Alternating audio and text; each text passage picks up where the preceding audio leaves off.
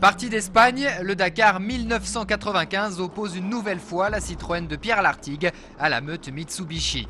Mais malgré tous leurs efforts, Sabi, Shinozuka et Fontenay ne parviendront pas à détrôner le tenant du titre.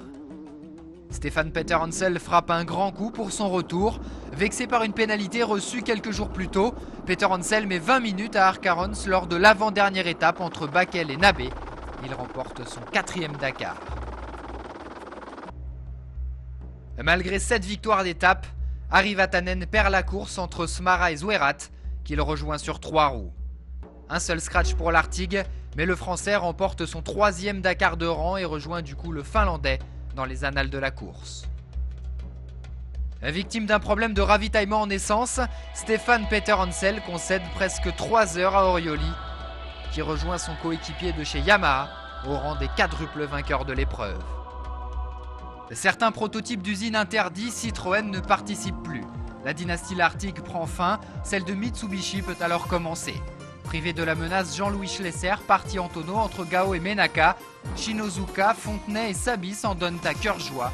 11 victoires d'étape sur 14 possibles avec au final 4 voitures aux 4 premières places. L'écurie favorise le pilote national. Kenjiro Shinozuka devient le premier japonais à gagner le Dakar. Jutta Kleinschmidt sur son buggy Schlesser, la première femme à remporter une victoire d'étape. En moto, Stéphane Peter Hansel a mis les choses au point d'entrée. 6 victoires lors des 8 premières spéciales. Toujours fidèle à Yamaha, il rejoint Cyril Neveu au rang de quintuple vainqueur du Dakar. Deux records viennent marquer ce 20e anniversaire. D'une part, la performance du team Mitsubishi qui ne partage le gâteau avec personne. La firme remporte 15 des 16 étapes disputées du jamais vu, laissant seulement les miettes de la dernière mini spéciale à Jutta Kleinschmidt. Après 16 participations, la fidélité de Jean-Pierre Fontenay est récompensée. Le Français réalise son rêve au terme d'une course quasi parfaite, une course où moins d'un tiers des candidats engagés à Paris ont rejoint Dakar. 98, c'est aussi et surtout le sixième sacre de Stéphane Peter Hansel. Comme un symbole, il relègue Cyril Neveu, premier vainqueur de l'épreuve, au deuxième rang.